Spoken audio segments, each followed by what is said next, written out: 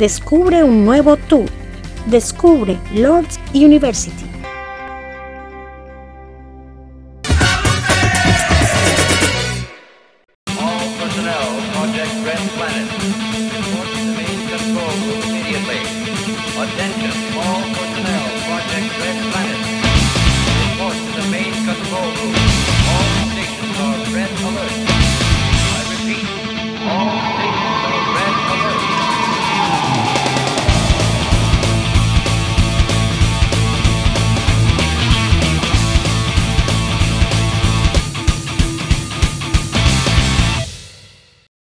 Hola amigos, bienvenidos una vez más a esto que se llama Zona Feed en Voces Latinas. Espero que estén teniendo un excelente día y hoy venimos con la segunda parte del segmento que empezamos la vez pasada acerca de nutrición, dieta, alimentación, como ustedes lo quieran llamar. Y en el día de hoy vamos a hablar acerca de la proteína. Sí, señores, la proteína, algo que ha estado muy de moda, especialmente en los últimos días, y yo estoy segura que cada uno de ustedes ha escuchado algo ah, o tiene una información o conocimiento básico acerca de lo que es la proteína, porque de verdad que últimamente ha estado súper sonada el tema de la proteína. Entonces, empecemos diciendo que la proteína es, como ustedes lo saben, un macronutriente, es decir, algo que nuestro cuerpo necesita en grandes cantidades para funciones básicas y su función dentro del organismo es de construir. Entonces, la proteína nos ayuda a construir lo que son nuestras fibras musculares, eh, tejidos dentro del cuerpo, un montón de cosas dentro de nuestro organismo. Eh, la proteína hace ese, ese papel constructivo dentro de nuestros organismos. Tengamos en cuenta que para nosotros tener una buena musculatura en nuestro cuerpo, tenemos que consumir proteína. Para mantener músculos, para crear músculos, necesitamos ciertas cantidades de proteína. Las proteínas se clasifican eh, dentro de una calidad biológica, se llama, y esto es como qué tan buena o qué tan... Ah, qué tan propensa, qué tan rica es la proteína que nuestro cuerpo está consumiendo. Entonces tenemos como una escala en la que hay niveles de eh, eh, calidades de proteína y en, el, en la punta de esa escala está lo que nosotros conocemos que es como el pollo, todo lo que son proteínas ah, de tipo animal, pescado, las carnes, todas esas proteínas están allá. ¿Y por qué están de primeritas? Porque son las más completas. ¿okay? Después siguen ya las proteínas que vienen más de granos, de cereales, eh, que son las dietas que utilizan las personas que son vegetarianas. Pero nosotros siempre intentamos recurrir primero a esas proteínas de alta calidad biológica, que son las que vienen de tipo animal. Ahora, las proteínas, la principal característica es que tienen, están cargadas de aminoácidos.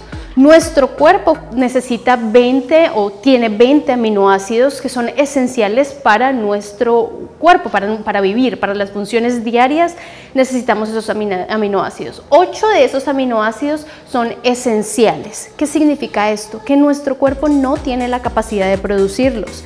Es decir, que necesitamos consumirlos en nuestra dieta. En las comidas que nosotros consumimos necesitamos esos 8 aminoácidos restantes y esos aminoácidos se encuentran en proteínas completas.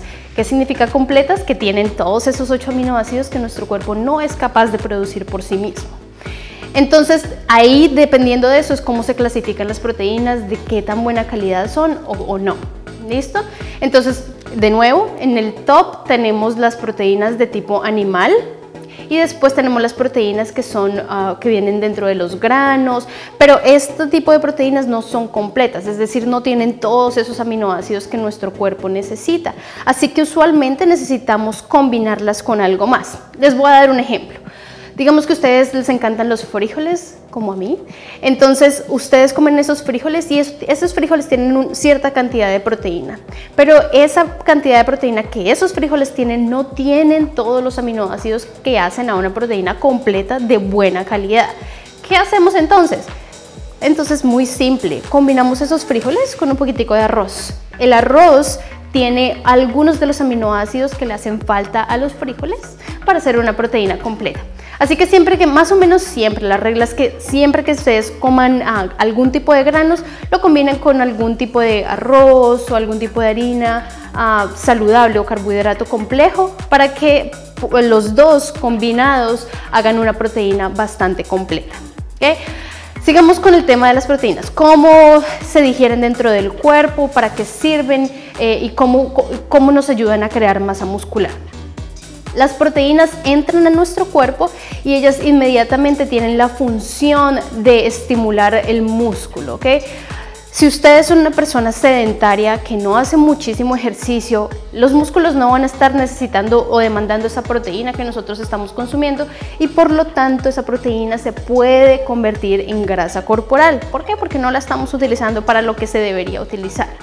Entonces, para que nosotros podamos tener los máximos beneficios de esa proteína necesitamos tener un plan, necesitamos movernos, necesitamos hacer pesas, necesitamos ir al gimnasio, hacer ejercicio, para que nuestros músculos puedan optimizar esa proteína que estamos consumiendo en nuestra dieta. Vamos a hablar un poquito de cuánta proteína necesitamos nosotros consumir. Una medida más o menos correcta o alguna regla generalmente aceptada es que lo que, lo que mide nuestra palma de la mano abierta, esa es más o menos la cantidad que tu cuerpo necesita consumir a diario. Ahora, si quieres más un valor específico, las personas pueden consumir entre 1 o 0.8 y 1 gramos de ah, proteína por cada libra de cuerpo. ¿okay? Entonces, si tú pesas 120 libras, lo más recomendable es que consumas 120 gramos de proteína. ¿okay? Ahora, 120 gramos de proteína no significa 120 gramos de pechuga de pollo. Dentro de esa pechuga de pollo no hay toda esa proteína porque el pollo tiene un contenido de grasa y tiene otro, otro contenido ahí que no es netamente proteína.